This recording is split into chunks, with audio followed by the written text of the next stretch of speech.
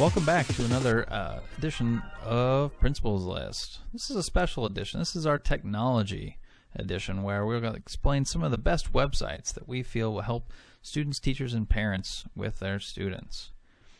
Today I'd like to show you one of my favorite websites. It's called freerice.com. Freerice.com is a super streamlined, very easy to navigate and monitor website for use at home or in the classroom. This is how it works. So go to your web browser. And in the address bar you're going to put in www.freerice.com all right it's going to default to English grammar looks like today. And um, so this one would just be which one is correct or not. So students can practice their English grammar. So would we say they're not here yet or they are not here yet. So we would say, uh, let me zoom this back out a little bit for you. Um, they're not here yet. Okay, it says it's correct. Uh, now, because I've already been playing today, it's already added up 300 grains of rice. I'm going to change subjects. So you go right here to change subjects. And um, let's go with English vocabulary and show you guys that. So these are synonyms. So bad means, you know, not good.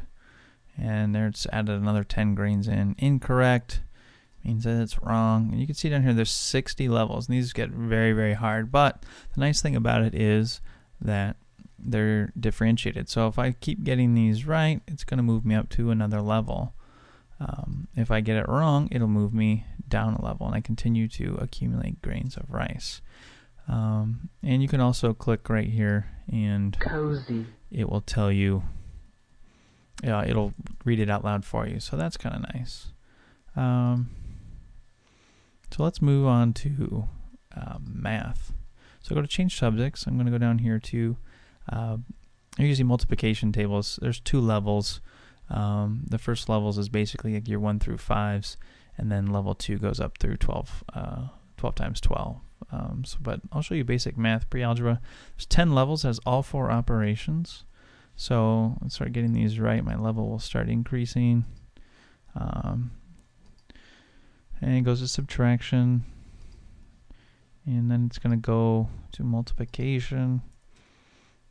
And then through to, uh, to division. And again, the nice thing about this is your students that are struggling with their addition facts, they'll stay down there and continue to work on those. And your other students can start getting into things like this with fractions, with uh, like and unlike denominators.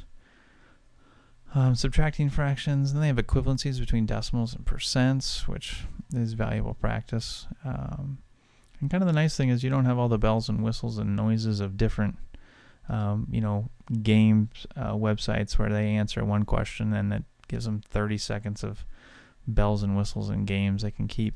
Um, it's very streamlined. It's all about content. So um, I really like this website for that.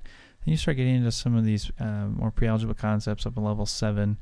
So those higher students, your honor students, can keep going, um, and they're basically being challenged and practicing um, things that are more to their level. So um, if I get an answer wrong, let's say answer 7b for this one, it's going to say incorrect and it's going to tell me what the answer is and it'll knock me down one level so I can practice to work myself back up to there.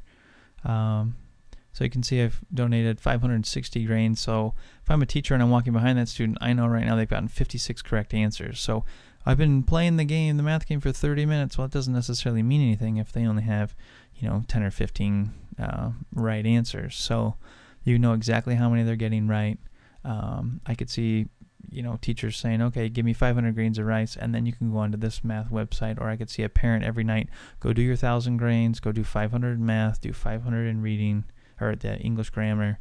Um, for uh, maybe second language um, teachers, if you're, you know, high school or middle school, French, German, Italian, Spanish, there's different um, um let me try my Spanish here. So el numero means number and gasoline, and there's 10 levels on here, and it does get a little bit more difficult. So, um, and for our chemistry teachers, our science teachers, it has basic um, some of the more easy uh, periodic table of elements uh, symbols. So that's kind of nice to do as well.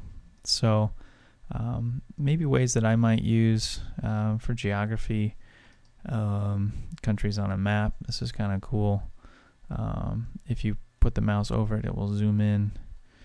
And why did they start me off with that one? Uh, oh, I got it right, Belgium. So that's pretty cool. Um, so I could see using this a couple different ways. If you have your students seated in groups, I could see um, you add up each group's uh, total grains, have them add them up, and then you can either you know have a group contest, they get tallies or extra time um, for whatever. I could see then you know adding up the whole class total, and maybe groups try to beat their group total.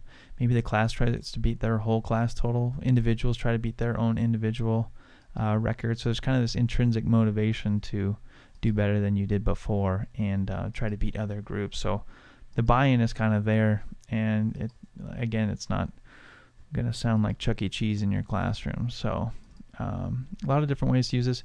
I could see using all those data points, all those numbers for mean, median, and mode.